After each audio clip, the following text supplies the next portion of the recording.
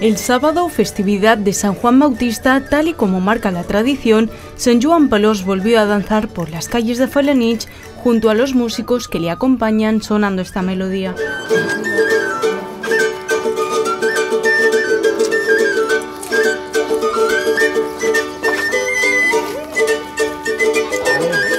Después de 32 años, San Juan Palos ha estrenado vestido nuevo, hecho por la modista falanichera Pilar García.